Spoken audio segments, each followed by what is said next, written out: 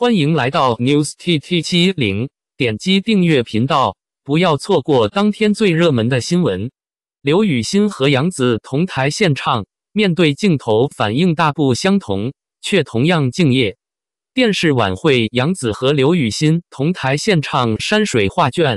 当镜头扫过时，杨紫无视镜头，眼睛坚定地看向观众；刘雨昕的反应却截然相反，镜头已拉近。他就捕捉到了镜头的方位，并且眼神一直追随镜头。两者面对镜头区别如此之大，原因是他们的职业的差别。刘雨昕是爱豆，更多舞台表演需要经常跟镜头互动，把镜头当作观众，才能抓住屏幕前观众的眼球。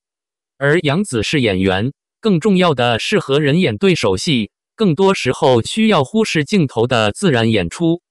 他们俩面对镜头截然不同的反应，很形象地演绎了爱豆和演员的区别。所谓术业有专攻，两人的在各自领域的业务能力真的很优秀。杨紫是专业演员，她的作品一直都广受好评，可见其表演实力真的很强。每次在镜头下的演绎都自然而生动。从童年时期的《家有儿女》到如今的《香蜜沉沉烬如霜》《亲爱的》。热爱的等作品都让观众留下了深刻的印象，每一个角色都深入人心。好演员，未来可期。刘雨昕是专业爱豆，从《青春有你二》的每一个舞台到的九成团后的每一次演出，刘雨昕都能 hold 住全场，准确捕捉镜头。她的镜头感让屏幕前的观众每次都为之惊呼。他面对镜头时的眼神，就像透过镜头直视观众，让人移不开视线。唱跳也是十分精彩，不俗的舞台实力和舞台把控力，出色的镜头感。刘雨昕的舞台真的次次精彩。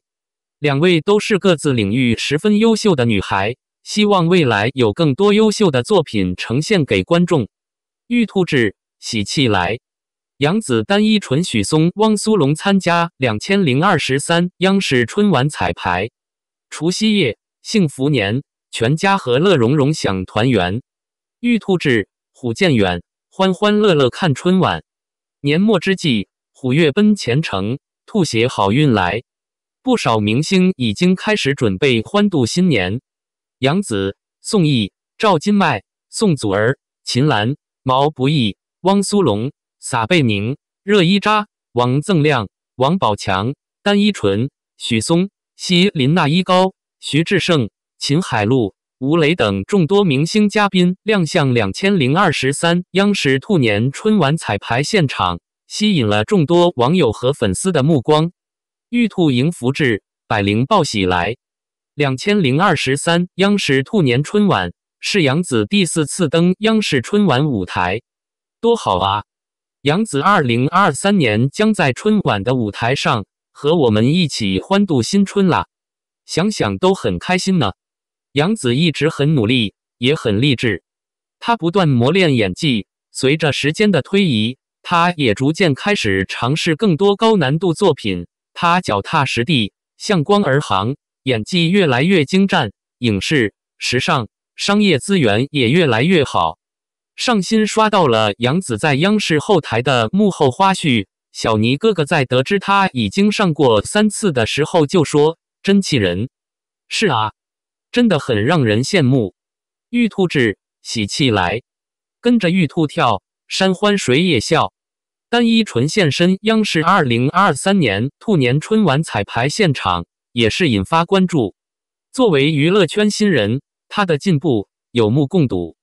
单依纯因获得《中国好声音》两千零二十年度总冠军而正式进入演艺圈。单依纯唱歌有她自己的水准，声音亦有着独特的灵魂。她的声音具有较高的辨识度，丝般顺滑，音色圆润如玉，沁人心脾。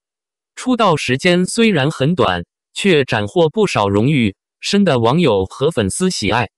单依纯步伐轻快。身穿黑色短款羽绒服现身央视二零二三年兔年春晚彩排现场，时尚满分，搭配白色内衬、蓝色牛仔裤，双手插兜，活力满满。期待新生代音乐人单依纯的精彩表现。玉兔志，喜气来。杨紫、单依纯参加两千零二十三央视春晚彩排，备受关注。而同样受到关注的还有许嵩、汪苏泷、宋轶、赵今麦、宋祖儿、秦岚、毛不易、希林娜依高、撒贝宁、热依扎、王锃亮、王宝强、徐志胜、秦海璐。吴磊等众多明星嘉宾，上午有汪苏泷，下午有许嵩。要在今年春晚看到青春回忆了吗？今年的春晚阵容感觉很有看头。汪苏泷的创作呈现出华语乐坛稀缺的年轻又不乏质感的新生代音乐人状态，展现出鲜嫩的帅气与直击人心的深邃。科班出身的汪苏泷创作的歌曲主流好听。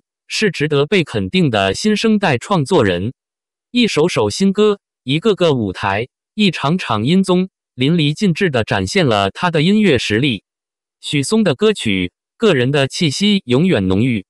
许嵩的直抒胸臆、干脆利落的特殊演唱方式，令很多人被惊喜和感动到。央视春晚彩排现场里有歌手许嵩的身影，一把子期待了。欢歌笑语，喜迎新年，齐心协力，共谱新篇。玉兔至，喜气来。杨紫、宋轶、赵今麦、宋祖儿、秦岚、毛不易、汪苏泷、撒贝宁、热依扎、王锃亮、王宝强、单依纯、许嵩、希林娜依高、徐志胜、秦海璐、吴磊等众多明星嘉宾参加两千零二十三央视春晚彩排。一场关于兔年春晚的视听盛宴呼之欲出，真的令人期待。你最期待谁的精彩表现？